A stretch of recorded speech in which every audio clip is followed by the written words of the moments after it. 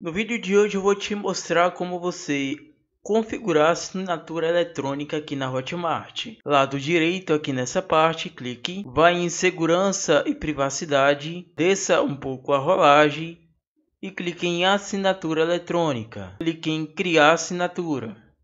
Lembre-se que é necessário para fazer saques é uma proteção extra para suas movimentações financeiras. Basta clicar aqui. Para sua segurança, você precisa criar uma assinatura eletrônica. É rápido e ela vai permitir que você faça saque. Importante, essa assinatura será a mesma para acessar sua carteira no Hotmart app. Você pode colocar agora não, mas no nosso caso é começar. Confirme a sua senha. É a senha que você usa para entrar na Hotmart no e-mail. Você vai colocar aqui. Agora clique em continuar. Vai chegar para você um código de segurança de 4 dígitos no seu e-mail. Você vai pegar lá o e-mail. Ao colocar essa, esse código, clique em continuar. Crie sua assinatura eletrônica.